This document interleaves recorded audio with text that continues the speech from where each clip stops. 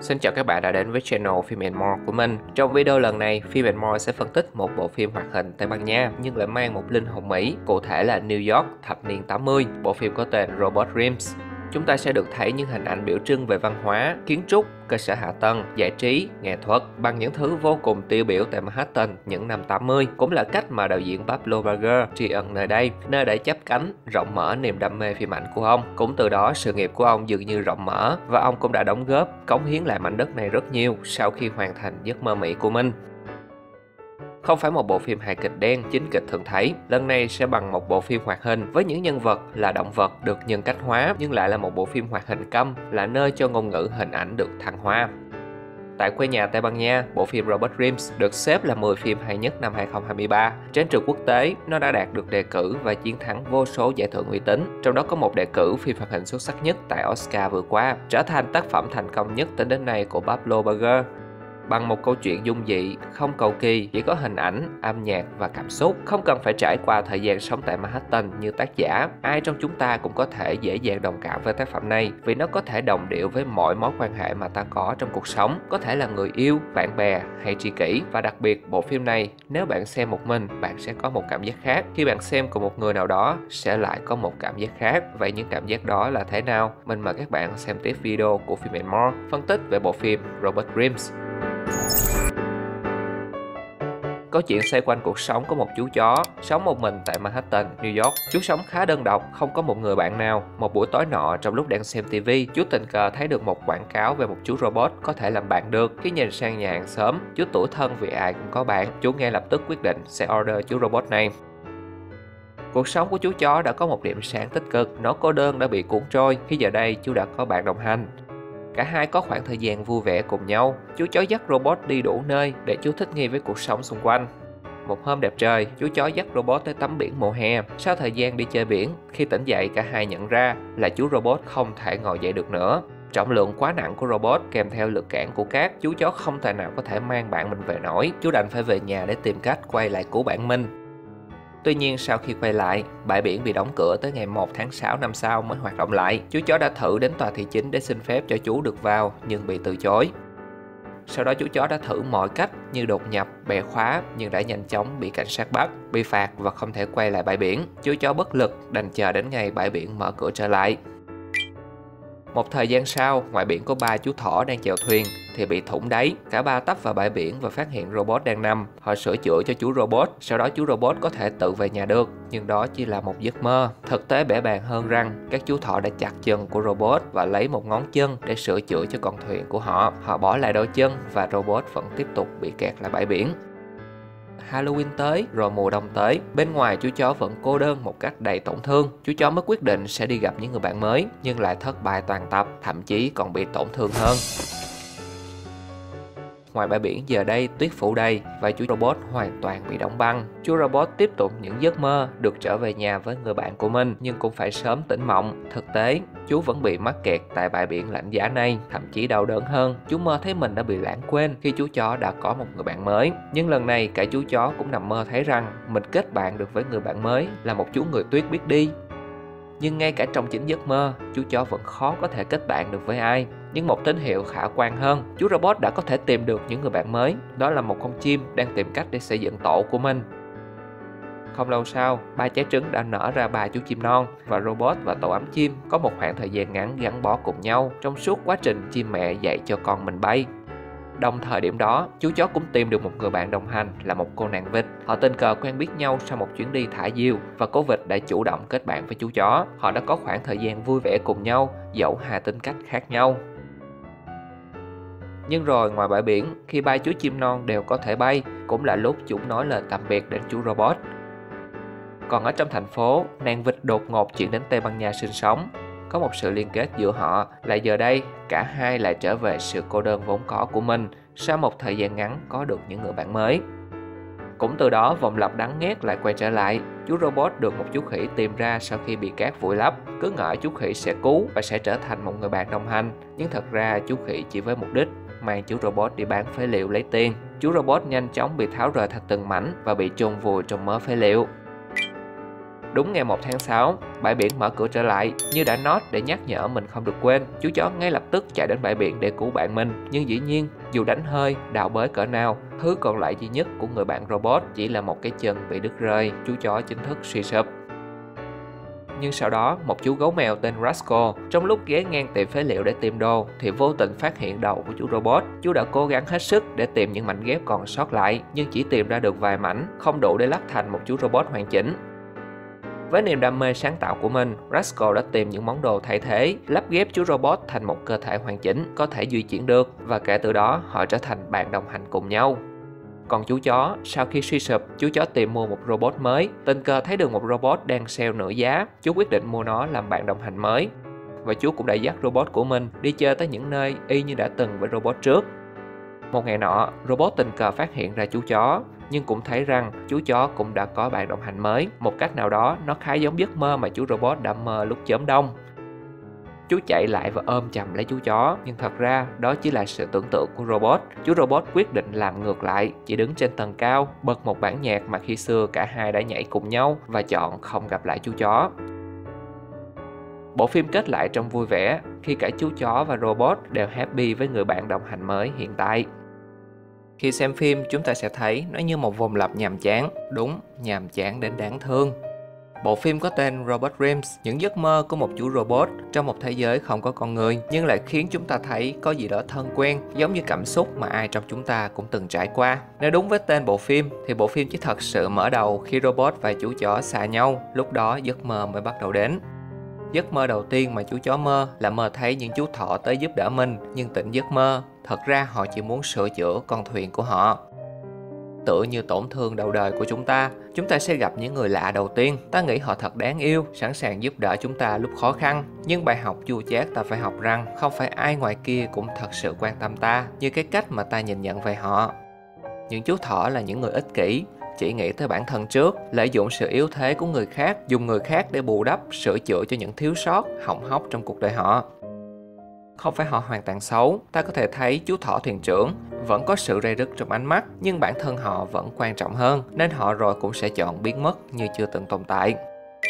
Sau những vùng vỡ đầu tiên đó, chúng ta sẽ bắt đầu hoài nghi về những mối quan hệ hiện có. Giấc mơ thứ hai mà chú mơ là thấy bị thay thế khi người bạn của mình có người bạn mới, nếu đây là một trong mối quan hệ tình yêu, thì rõ ràng đây là sự phản bội. Tuy nhiên, nếu chỉ là quan hệ tình bạn, thì ta vẫn có cảm giác bị phản bội. Một cảm giác đơn thuần khi thấy một người bạn vốn chơi thân với mình, cần mình lúc cô đơn, nay lại có bạn mới, và ta cứ như bị cho ra rìa, tạo cho ta cảm giác bị bỏ lại. Ta bắt đầu nhận thấy rằng chỉ có ta là người cô đơn trên cõi đời này. Mùa đông tới, chú robot bị đóng băng cũng hàm ý cho chúng ta sau những vụn vỡ, chọn đóng băng cõi lòng trong sự lạnh giá, cô độc. Nhưng chú robot lại tiếp tục mơ. Chú thoát ra và về lại chốn cũ với người bạn của mình, với bầu không khí màu sắc vui tươi, lấy cảm hứng từ phù thủy xứ OZ, ẩn dụ cho ta thấy rằng dù lòng ta có lạnh giá đến cỡ nào, trong sâu thẳm thâm tâm ta vẫn chất chứa những hy vọng màu xanh sẽ giúp ta thoát khỏi sự băng giá này. Nhưng lắm lúc, niềm hy vọng ấy sẽ sụp đổ ngay trước mắt ta. Tuy bộ phim là giấc mơ của robot, nhưng trong phim không chỉ robot mơ mà cả chú chó. Giấc mơ của chú chó cũng cho ta thấy một phần cuộc sống cô đơn của chú chó. Giấc mơ này đến sau khi ngoài đời thực, chú chó vừa bị tổn thương sau khi cố gắng mở lòng kết bạn với những người bạn mới. Chú chó bị những con thú ăn kiến chăm chọc, cười nhạo. Thú ăn kiến với chiếc lưỡi dài cũng ví von cho những kẻ miệng lưỡi dài ngoan, luôn dùng để đi chăm chọc, xỉa xói người khác. Và bài học rút ra từ chú chó, đó là càng bực tức, phản pháo lại những thứ này, có khi ta tự làm ta bị thương. Chú chó mơ thấy người tuyết biết đi như một con người. Người tuyết dắt chú chó đi chơi và gặp gỡ những người bạn của mình. Nó cho ta thấy chú chó vốn là người khó hòa nhập được với người khác. Chú chó bối rối, lúng túng khi nhìn thậm chí người tuyết còn có nhiều bạn hơn cả mình. Và trong thâm tâm chú chó vẫn muốn được kết nối với nhiều bạn bè hơn nữa. Chú chó luôn cố gắng hết sức để thích nghi và hòa nhập, nhưng vì tính tình e dè, rụt rè, vụng về, thiếu hoạt bát và sinh động, chú chó trở thành một trò cười của đám đông, tựa như ngoài đời chú bị những con thú ăn kiến cười nhạo. Và trong khoảnh khắc ấy, chú thấy người bạn tuyết của mình biến thành người bạn robot. Đó là cảm giác khi ta khó thích nghi được với những thứ mới, ta sẽ có xu hướng co cụm lại, quay về với những thứ cũ. Trở lại với cuộc sống thật, cả hai bắt đầu có những người bạn mới đầu tiên kể từ khi họ rời xa nhau. Với chú robot là những chú chim, trong ba chú chim có một chú có màu sắc khác biệt hẳn với chim mẹ và những người anh em của mình. Chú chim này ra đời chậm hơn, thiếu sự chăm lo từ gia đình hơn, biết bay cũng chậm hơn. Chú chim này lại có cảm giác gắn bó với chú robot nhất và ngược lại, chú robot cũng đồng điệu và có cảm tình với chú chim này nhất. Bởi vì một mặt nào đó, nó cũng cô đơn giống chú robot. Những con người bị bỏ rơi trong chính mối quan hệ thân thuộc, có lẽ chỉ vì họ khác biệt. Và cuối cùng, chú chim cứ ngỡ sẽ yếu đuối ấy, có thể chậm hơn những chú chim khác, nhưng nó lại bay cao hơn những chú chim còn lại. Ta có thể chậm, không đồng nghĩa ta không thể đi xa. Sự khác biệt có thể sẽ cô đơn, nhưng nó cũng là sức mạnh tiềm tàng. Cuối cùng những chú chim chia tay chú robot, dĩ nhiên người buồn nhất là chú chim khác biệt ấy. Chỉ trong thời gian ngắn, nhưng cả hai chẳng khác gì những người bạn, những người đồng điệu, ủi an nhau vượt qua sự cô đơn lạnh giá. Hình ảnh chú chim và chiếc tổ không thể được lồng ghép đúng chỗ hơn. Đây là một cảm giác thuộc empty nest syndrome là một hội chứng khi người mà ta có cảm giác gắn bó nay đã trưởng thành và rời xa ta ta sẽ bị hụt hẫng trống rỗng người ở lại cảm giác bị bỏ rơi cô độc Cùng lúc đó, chú chó cũng thế. Chú có một người bạn mới là cô nàng vịt nhưng cũng sớm phải chia ly. Cả chú chó và robot đều là người ở lại cô đơn. Có những người chủ động đến với cuộc đời ta, nhưng cũng chính họ lại là người rời đi, để lại ta trong sự hụt hẫng khi ta vừa lãng quên sự cô đơn chẳng được bao lâu. Trên đời này sẽ có những người đến bên ta, nhưng mấy ai trong số họ sẽ chọn ở lại. Họ sẽ đến và lại đi, vì ai cũng bận rộn với cuộc sống của riêng mình. Nhưng người ở lại có lẽ vẫn là người có cảm giác cô đơn nhất đến lần vùng vỡ thay đổi cuộc đời của cả hai nhất. Đối với robot, đó là lần bị đem đi bán phế liệu, trải qua nhiều tổn thương về thể xác lẫn tinh thần. Chú robot có hy vọng nhưng không kỳ vọng sẽ có ai đến và cứu mình nữa. Cuối cùng chú bị phân thành nhiều mảnh cho đến khi chú gấu mèo đem về. Đó hàm ý như khi chúng ta đối mặt với những biến cố cuộc đời. Nó khiến ta tổn thương, tựa như tan thành trăm mảnh trong cõi lòng. Ta không chết, nhưng cũng chẳng sống. Và khi đã tổn thương, ta khó có thể sẽ trở lại là một ta như ban đầu nữa. Sẽ có mất mát và có thứ gì đó trong ta sẽ không bao giờ trở lại và được tìm thấy nữa nhưng vẫn có cách để ta hồi sinh một lần nữa. Có thể ta giờ đây không còn như trước, tâm hồn đầy những chấp phá, nhưng không đồng nghĩa ta không có được hạnh phúc một lần nữa. Dẫu robot đã khác trước rất nhiều sau những vụn vỡ, nhưng robot vẫn có thể gặp được một người bạn đồng hành tốt, người hàng gắn vết thương và chấp nhận bước tiếp cùng robot. Còn với chú chó, lần vùng vỡ nhất đó là khi chú không thể tìm lại được robot một lần nào nữa. Có những thứ một khi ta đã mất sẽ khó có thể tìm lại. Chú chó tổn thương, đau buồn nhưng cũng sẽ phải bước tiếp. Người bạn robot đồng hành mới có thể không hoàn hảo như những robot khác, cũng không giống robot xưa, nhưng robot đó không có lỗi. Robot tin cũng giống như những người đến sau trong cuộc đời ta. Họ đến khi tâm hồn ta vụn vỡ, chữa lành và rồi chọn là người ở lại.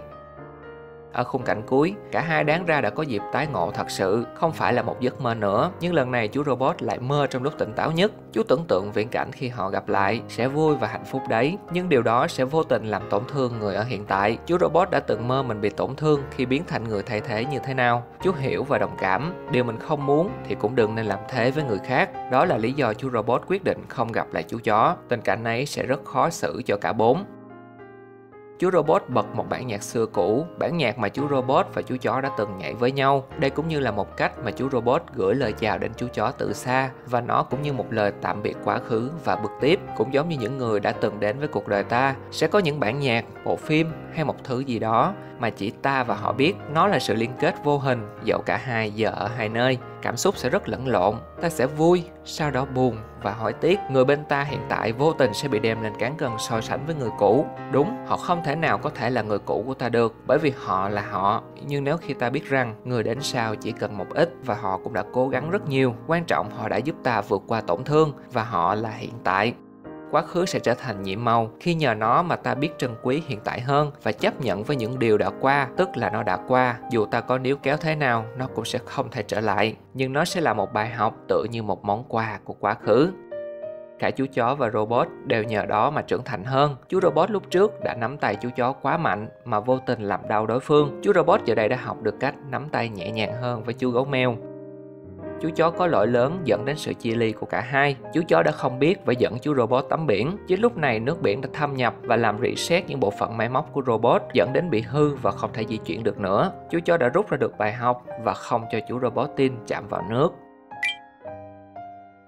một mối quan hệ dù đúng lúc nhưng nếu ta chưa trưởng thành có thể sẽ yêu thương họ sai cách từ đó mà vô tình làm tổn thương đối phương. Nhưng quá khứ là một bài học hiện tại là một món quà. Sẽ có những người đến và rồi chia ly nhưng sẽ cho ta một bài học để trưởng thành hơn để nếu có người sau ta sẽ yêu thương họ đúng cách hơn. Robert Grimes vượt qua rào cản mọi mối quan hệ, được kể chỉ bằng hình ảnh, không thoại, nó tựa như The Turtle hay Wall-E, không đau to búa lớn, chỉ có cảm xúc kết nối với cảm xúc tự nhiên mộc mạc và đơn sơ. Một bộ phim không cần lời để xoa dịu trái tim rỉ sét vừa đau lòng nhưng cũng vừa ấm lòng. Nếu những ai đã hoặc đang sống tại Manhattan, New York thì đây quả là một hoài niệm thú vị về mảnh đất này, được khắc họa không phải người bản địa mà là góc nhìn của một người nhập cư đã quan sát và lột tả rất chân thật một cách dí dỏm ta sẽ thấy bản thân New York cũng tựa như câu chuyện có những thứ đã qua không bao giờ trở lại nhưng nó là một bài học để nơi đây ngày càng phát triển và hội nhập hơn nhưng đạo diễn cũng tinh tế lồng ghép vào quê hương Tây Ban Nha của mình. Đó là linh vật Tây Ban Nha Naranjito của FIFA World Cup 1982 là năm mà Tây Ban Nha đăng cai tổ chức. Nó xuất hiện trên chiếc túi của chú chó và nơi mà cô nàng vịt chọn để định cư và làm việc là Barcelona của Catalonia, một vùng tự trị của Tây Ban Nha. Nhìn lại, tuy poster phim là hình ảnh khoảng thời gian vui vẻ của chú robot và chú chó, nhưng phần lớn cuốn phim lại là sự chia ly của họ. Và ta có thể thấy họ cũng như ta, cũng làm tổn thương nhau dù không cần gặp mặt. Có những tiếng nức nở thầm lặng cho những mối quan hệ. Thật ra không ai có lỗi cả, dòng đời bằng một cách nào đó đều có cách đẩy chúng ta ra xa nhau. Mọi mối quan hệ đều như một con thuyền trên biển chờ cập bến, họ sẽ đến và lại đi. Ngày tháng của chúng ta sẽ kéo dài mãi mãi như một giấc mơ. Đến khi ta chấp nhận rằng đó là một lẽ thường tình có những mối quan hệ cũ dù từng vui vẻ và hạnh phúc đến mấy cũng chỉ là một thứ đã cũ người trân quý là người chọn ở lại sau tất cả nếu nói cuộc đời này chúng ta vốn dĩ đã cô đơn thì cô đơn cũng có thể bị lãng quên tựa như Robert Grimes ngay cả nỗi cô đơn của tháng 9 cũng sẽ bị lãng quên vào tháng 6 Cảm ơn các bạn rất nhiều đã xem hết video phân tích của mình.